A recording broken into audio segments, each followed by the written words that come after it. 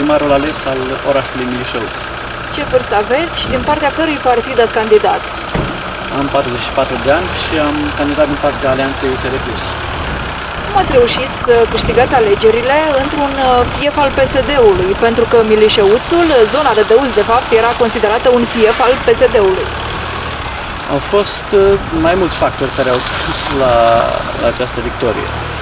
Eu vin din um, domeniul privat uh, și sunt acolo de vreo 20 de ani. Am început de jos, oamenii, cetățenii de la noi mă cunosc, știu de unde am pornit, au văzut progresul, știu ce fel de om sunt și probabil de aceea au votat.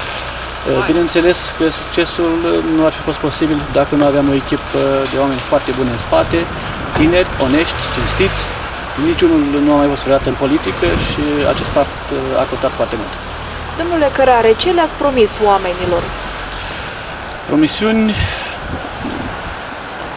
știm cu toții că după 30 de ani de la Revoluție,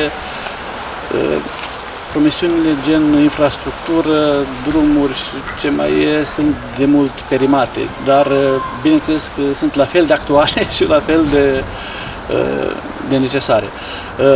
Nu am insistat pe promisiuni, am insistat pe ceea ce a lipsit în primăria Milișăuți, adică transparență în cheltuiala banului public, transparență în luarea deciziilor, modul cum sunt tratați uh, cetățenii în cadrul primăriei sau cum au fost tratați până acum, pentru că acest mod cu siguranță se va schimba și cred că ăsta a fost statul nostru și credibilitatea noastră ca echipă, cum am mai spus. Plus că aparținem USR uh, Plus, un partid care e relativ nou în, în România, dacă ne luăm după de când e uh, în spațiu public și se știe, sau cel puțin la noi lumea știe că sunt oameni serioși. Am avut foarte mulți uh, oameni veniți din afară, special ca să voteze. Uh, deși este pandemie, deși a fost greu și efortul mare, am avut destul de mulți care au venit să ne susțină. Puteți să ne spuneți aproximativ cam câte persoane au venit din străinătate special ca să vă voteze pe dumneavoastră? Uh, Vorbim despre zeci? Uh, da, da zeci de persoane? Nu zic eu, știu, 50, dar oricum a fost, putem spune că a fost 10. Ce veți face prima și prima dată uh, când uh, o să ajungeți în primărie în calitate de primar? Uh, în primul rând trebuie să vedem ce, ce mai are primăria. Vom discuta cu tot personalul primăriei, deci cum am spus, eu vin din mediul privat, și uh, lucrurile stau un pic altfel aici în raport cu o instituție unde uh, personalul este bugetar.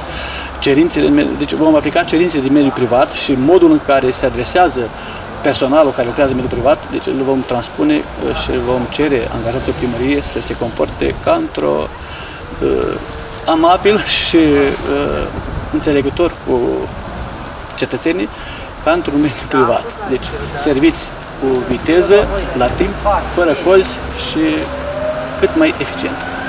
Ați avut o campanie electorală probabil nu foarte ușoară. Probabil ați stat de vorbă cu oamenii și probabil că știți acum care sunt primele trei probleme ale cetățenilor din Milișeuți. Sunt cam aceleași ca și în majoritatea localităților din țară, adică cel mai mult au cerut uh, canalizare, deci este o mare problemă la noi, gaz, drumuri, infrastructură.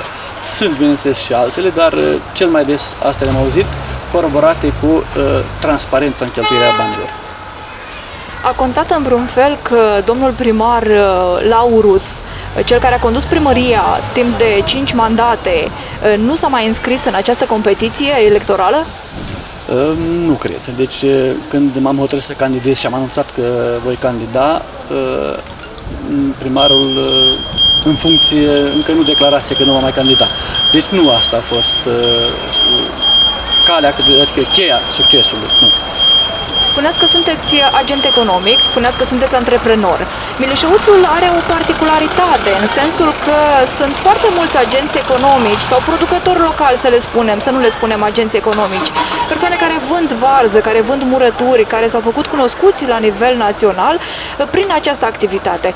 Ce abordare veți avea cu privire la acești, sau în relația cu acești oameni? Uh, aceeași abordare, la fel care vine în mediul privat. Uh, promovare și uh, încurajarea sunt destul de mulți, majoritatea producătorilor sunt mai mici, nu potență foarte mare financiară sau așa. Încurajarea lor vom încerca să promovăm cât mai mult cât mai mult produsele și brandul de milișoți vom încerca să înregistrăm și un, uh, un brand al milișăuțului. Uh, la fel, susținere cât se poate de mult din partea primăriei, uh, în viitor chiar și consultanță deci, pentru accesarea de fonduri, deci sprijin cât se poate de mult pentru, pentru producători. Să înțeleg că aveți deja o strategie stabilită. Sigur. Sigur că da. Care înseamnă, de fapt, uh, uh, construirea unui brand, sprijinirea prin consultanță, mai sunt și alte lucruri. Vă gândeați la o piață de desfacere?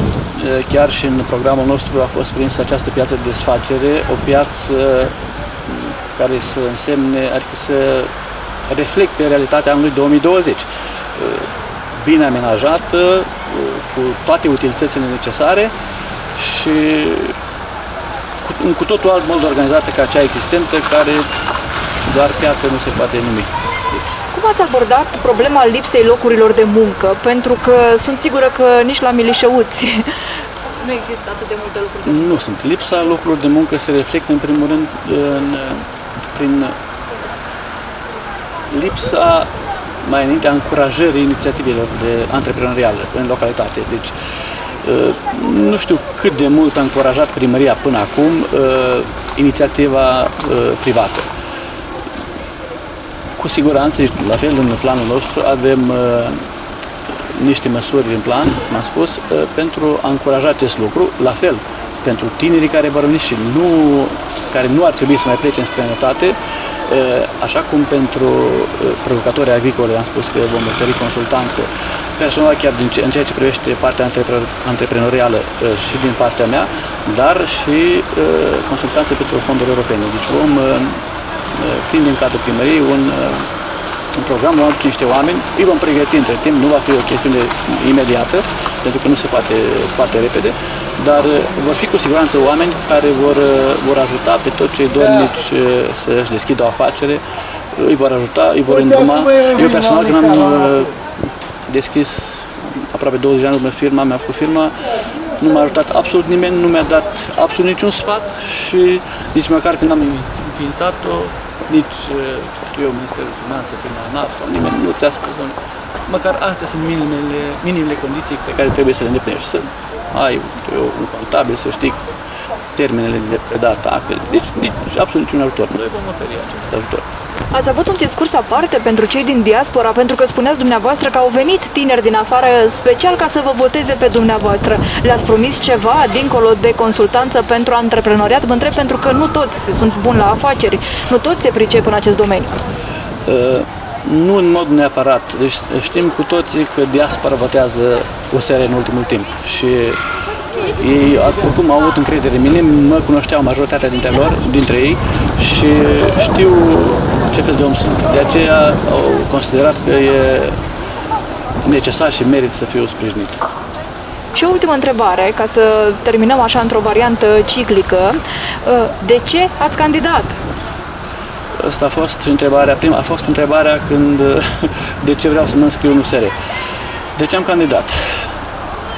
Relativ simplu. Uh, au trecut 30 de ani de la Revoluție, 20 de ani de guvernare PSD în Milișăuț și prea puține lucruri s-au schimbat în bine. Uh, am spus că și eu și colegii din echipă, dacă nu ne implicăm noi acum, s-ar putea să fie altă dată prea târziu. Și acum e momentul nostru să o facem și cu siguranță vrem să schimbăm și să arătăm că se poate și altfel față de ultimii 30 de ani. Aveți și majoritatea în Consiliul Local? Din păcate nu. Și aici avem o problemă, dar o vom rezolva prin negocieri cu colegii ceilalți. Vreți să faceți alianțe? Va trebui. Cu cine? La cine v-ați gândit? Uh, deci, uh, tot ceea ce înseamnă partea dreaptă a eșichierului politic. Deci, cu reprezentanți la Minișot sunt PMP, uh, PNL și avem un reprezentant la AUR. Vă mulțumesc tare mult pentru acest interviu și vă urez mult succes! Vă mulțumesc și eu că m-ați invitat.